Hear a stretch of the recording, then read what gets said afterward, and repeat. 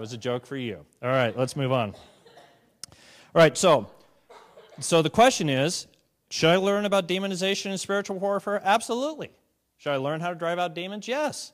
But I don't do it unless the Lord shows me that's what it is. See, I learn these things and then I learn to be led by the Lord. That's the correct principle here. Okay?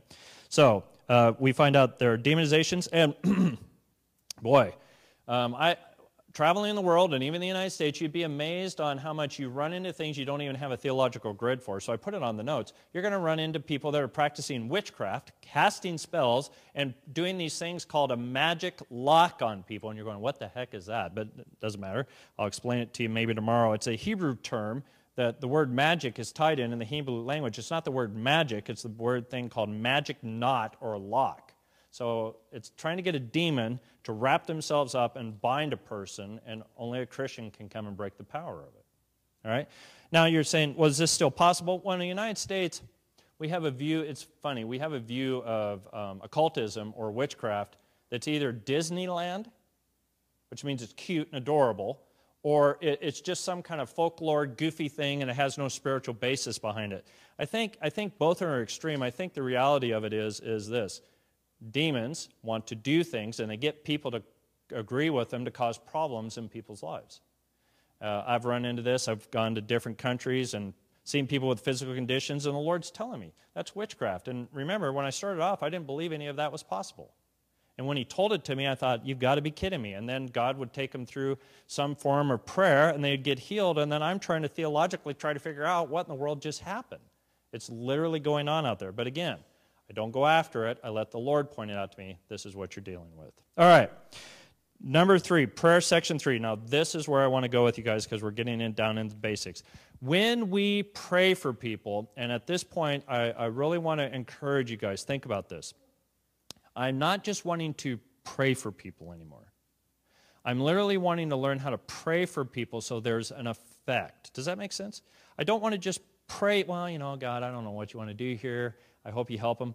Um, what I want to say is let's, let's actually figure out how God can actually come towards a person and literally minister to him, and we expect God to heal him right there when we pray for him. That's what I think we should aspire to. This is where God wants us to go, is to believe that he can actually change the situation when I pray for it. This is very interesting in my own journey with God. God's always challenging me on concepts of him showing up in a situation you guys remember in the Bible where Jesus came to a bunch of people and he said, Now, like, when two or three of you gather in my name, I'm there with you? Remember that passage when Jesus was talking about that? What's fascinating is, you know how it's been taught uh, incorrectly in the body of Christ? Kelly and I say, hey, we're here in Jesus' name. Now, do you want a Mercedes? I want a BMW. Now, let's tell Jesus that's what we want. We come into agreement, right? You ever see people do that kind of stuff?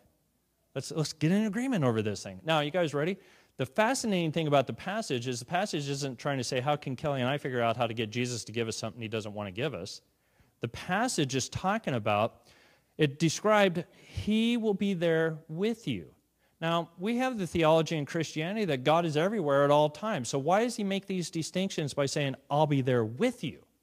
He's trying to show something about the kingdom that's incredibly powerful. When you and I gather in his name, he's not just there and we don't recognize him. He's trying to give a distinction when he says, I'm there with you. He means his manifest presence is there with you to do the things that he's going to show you to come into agreement with so they can be accomplished on this planet.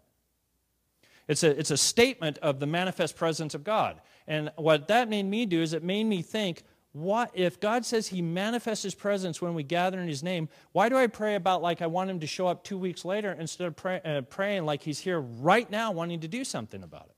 The suddenness of God's manifest presence is with you every time you gather in His name. Now, I've seen Him work this out everywhere I, uh, on my adventures. I go into houses with other Christians. They want prayer for healing, when I get there, I recognize wait a minute, he gathered us here in his name, so he's here. And so it already means he wants to do something. I just need to figure out how to cooperate with what he's doing so that it can be accomplished. All right, so here's the, what we call there are two types of prayers that you and I have to learn from the Bible. The first one we do the minute we meet the Lord Jesus Christ, it's called petition. Okay? It's the natural thing. God, please help us in this situation. Please minister to this person. And does God heal people that way? Well, yes. We, we'd probably all have, many of us have many testimonies where we say, Well, I asked God to do this, and He came and He did that. That's one form of prayer. And if you pray that way and a person doesn't get healed, here's the thing that uh, we want to grow into it doesn't mean that God doesn't want to heal him, it means we're choosing wrong prayer in that situation.